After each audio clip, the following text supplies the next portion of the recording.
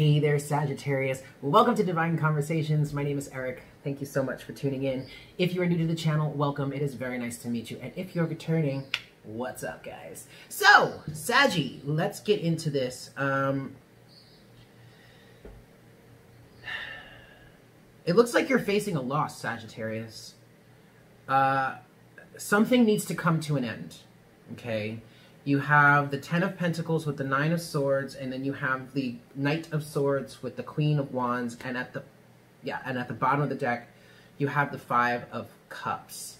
And then underneath the Five of Cups, you have the Nine of Pentacles, and then you have the Three of Swords underneath that. There needs to be some sort of ending, a stop to a toxic, karmic relationship.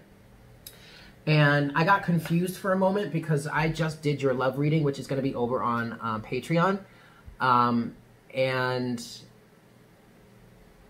um, and I thought I was I, I was kind of I was seeing the the symbol of Capricorn in my head, and I didn't realize that that's what I was doing until now. When I just started to do your spirit monthly messages, I was like, wait a second, no, that's Capricorn. I need Sagittarius is the archer, right? Um, is the centaur. So um, so I, re I, I, I, refocused and I'm channeling your message and now know it's it's fine. Now, maybe you're married to a Capricorn or maybe you have Capricorn in your chart somewhere in some sort of major placement. But no, this is a similar message to what came through in the love reading. There is a toxic situation here that needs to be let go of. Oh, hold on. Sorry, Saj um, sorry.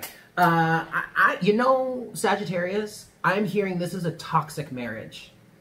And that makes perfect sense because you have the Ten of Pentacles, and the Ten of Pentacles can represent the family, can re represent um, a marriage, you know, a physical marriage with somebody.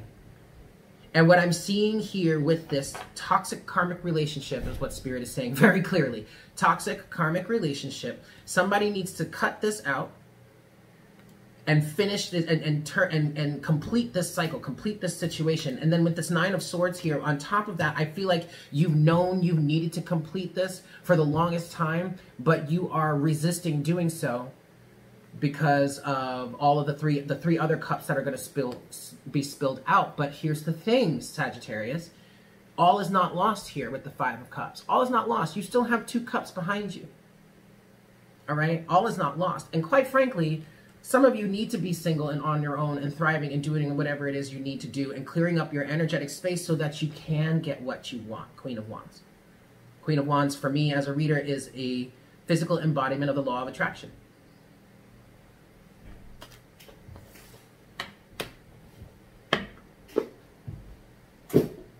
Now, this doesn't have to be a toxic marriage. This doesn't have to be a marriage for you. This, I mean, again, this is a general reading, but Spirit has was saying very clearly, this is a toxic either karmic marriage or karmic relationship, okay? And if you're on Patreon, then you might really want to check out that love reading. And if you're not on Patreon, I might, you might want to think about it. All right, Sag, I'm going to give this one more shuffle and then we'll get into that. Yeah? Uh, link to my Patreon account can be found in the description box below, patreon.com slash divine conversations. Alrighty, kids, let's do it.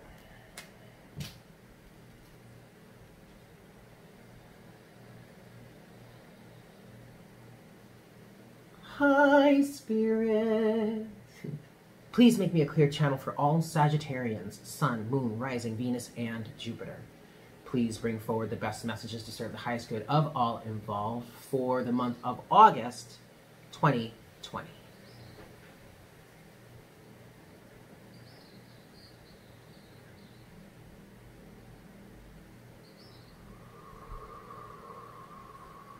Thank you so much, Spirit. All right, Sagittarius.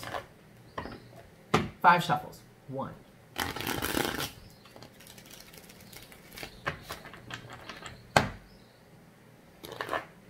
Two.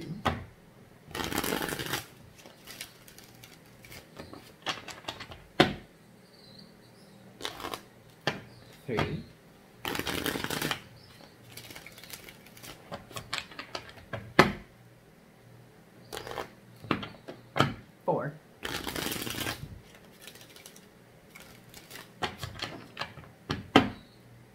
and five.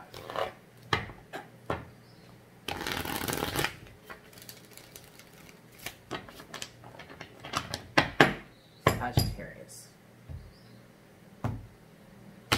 Boop. Okay. Sorry, guys. I gotta pause again for one second. All right, Saggy. Sorry about that. Let's get into this. So, overall energy. Mm, Sag. Overall energy. We're starting you with the Ten of Swords again. Ooh, honey, you got to bring this to a close. Six of Cups.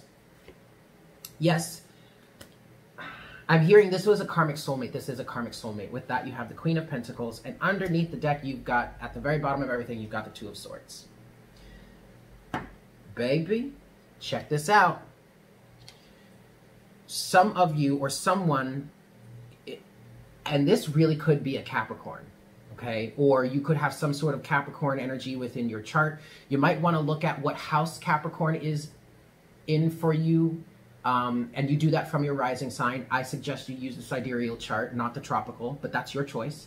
Uh, look to see what house Sagitt- uh, uh, Capricorn might be in for you. That could give you a clue as to what area this of this, uh, uh, what area of your life this is speaking to. Um, I, I just heard it is home and family for someone out there. Um, you're refusing to see something, Capricorn. Capricorn, shit, I'm sorry, Sagittarius. You're refusing to see something, or you have been refusing to see something. Um, and also, what the Two of Swords is saying to me is you have got to look at this from a different point of view. You've got to see, you've got to look past the illusion of the physical reality and see things, work on seeing this from an internal point of view, from an energetic point of view, from your mind's eye to really perceive what's going on here. Because I feel like whomever is represented by this Queen of Pentacles energy, which also could be a spouse, it could be a wife or, or a husband, even if they um, even if they represent more of the feminine energy. We're not talking gender here, but this is a this is the wife archetype with the Queen of Pentacles. Someone is deceiving you here, or someone is not keeping up their end of the bargain. I feel like this Queen of Pentacles should probably be in reverse. And I feel I also feel like you're allowing something about the past, whether that be you guys have been together since like you're you were high school or college sweethearts or you have you feel some really strong deep connection with this person or you have a past life relationship with this person. Uh, i well you most likely have a past life relationship with this individual but i feel like you are allowing this to blind you to the truth of what's going on really going on in this marriage in this circumstance in this relationship okay but someone very specifically regardless of what type of situation this is for you Saji, someone is not keeping up their end of the bargain and they are being manipulative about it potentially. They are maybe trying to make you think that they are when in reality they aren't. Okay. First set of surrounding energies for you, Sagittarius. We have Four of Wands, home and family, your home, your stability, with this Four of Wands, I do want to say, with I, I definitely want to say here, Sagittarius, that with this Four of Wands, I feel like you've come to a new state of groundedness or foundation within your own self, which is allowing you the opportunity to really start to see this for what it is and bring this situation to a close with the Ten of Swords being the very first card in your overall energy, right? But then this also could deal with your house and your family life. And I'm hearing some of you are going to be moving. Some are going to be some of you are going to need to move, whether you are married to this person or you have like a live-in boyfriend or girlfriend, or like you are you guys are I, I, I kind of I kind of get the strongest feeling that for some of you out there, this has something to do with you owning some sort of property with someone. So this definitely could be a business relationship, but I'm I'm I'm feeling things like maybe a home, a house, an apartment, something like that, in which you guys cohabitate, and now somebody's going to have to move. And quite frankly, I kind of want to say, you know what? You might just want to find yourself a spot somewhere else and not even worry about trying to force that person, the other person, even if they're doing you wrong, try not even to force that other person to leave the leave the space, leave the house, leave the apartment. You may just want to pack up your shit and go somewhere else so that y'all can work this out. And if you are getting divorced, maybe part of the stipulations of the divorce are that you get the house or something like that. I don't know, but right now it's not worth it's not worth fighting for because that's only going to make the situation more difficult, okay? Four of Wands is coupled with the Four of Cups. Yep, you are not satisfied here. You are not satisfied here. Someone is not satisfied here. Someone is bored. Bored to tears, I want to say. But also, this is you or someone missing out on an opportunity because you have come to this sense of deep connection and maybe even deep commitment towards yourself. Ah. Or it could be that you have the opportunity to do that right now by setting the record straight, dealing with something that had needed to be dealt with a long time ago. Okay? Just because you are facing the fact of having to leave someone or having to put a relationship or a circumstance to an end, that does not mean that it's necessarily a bad thing. And, and, and quite frankly, it feels like this is a good thing because the Ten of Swords is your first overall energy, your first card of your own overall energy. So how could this be bad, Sag? You're rejecting the offer of unconditional love that the Ace that the Ace of Cups provides to you, that the universe is trying to provide to you. I just heard set the record straight. Second set of surrounding energies for you, Sagittarius. The Two of Cups. And the feeling that I get from this Two of Cups right now, Saggy, is that there is a potential relationship, a much better partnership that's on the horizon for you. But in order for you to get to that, you've got to let go of the toxic stuff first. Two of Cups is, a, is coupled with there you go. There you go. The Nine of Pentacles. Uh, you've got to be single in order to manifest the ideal relationship that you want. That's what I'm hearing. Now, um, it's not necessary. I mean, you, have got to be single in order to, to be prepared for it. You've got to get on your own. You've got to be established on your own. You've got to stand on your own two feet. And maybe, maybe this this relationship that you're needing to move out of, move away from here, is based on codependent foundations. Ugh. You know what I'm saying? And if you don't want to be in a codependent relationship anymore, then you've got to get out of that one. Let all the toxicity subside and drain out of your system so that you can align with the proper ideal relationship that lacks codependency, right? Because the Nine of Pentacles is a very independent energy. But the Nine of Pentacles is also an energy of um, being rewarded for work done well. For hard work, too, okay? Your challenge, Sagittarius, in the first half of your reading is the Knight of Pentacles. Yeah, this could be a, very, a slow and arduous process, especially if it's a divorce. But you're just going to have to follow through. You're going to have to persevere. You're going to have to see this through. You're just going to have to do what you have to do. And if you have to let go of some comforts in, the, in order to do that, then so be it. Because ultimately it's going to pay off because it's going to get you where you ultimately want to be. So you might need to make some sacrifices for the time being. But that's all right. You'll get it back. Knight of Pentacles is coupled with the Magician. So really, Sagittarius, your challenge right now is to work on the process of manifesting something new. You got to start. You got to start uh, uh, uh, step one. Identify what identify what step one is. If you want to plan it out and, and, and try and identify all the steps that you'll potentially need to take, okay, great. Let's do that. You can definitely do that. Map, create yourself a nice little roadmap. The Knight of Pentacles really approves of that one. But then you have to allow space for the universe to work within that roadmap. That's not ultimately going to be 100% the full plan, but at least you have you're prepared should should you know something go a little awry or something and you know ultimately where you're trying to go so that you can figure out how to acclimate, right? That's being in this magician energy as well, okay? So, but right now your challenge Sagittarius is to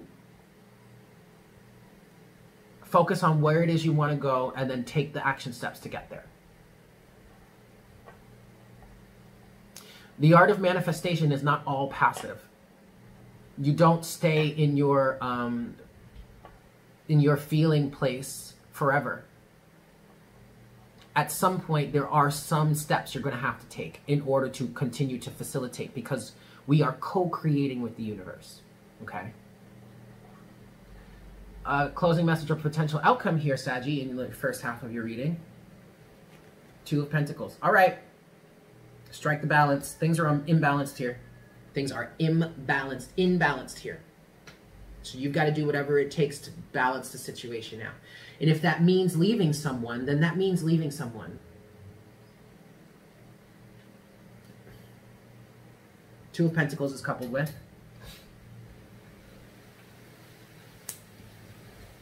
Strength. Having the strength to strike a balance.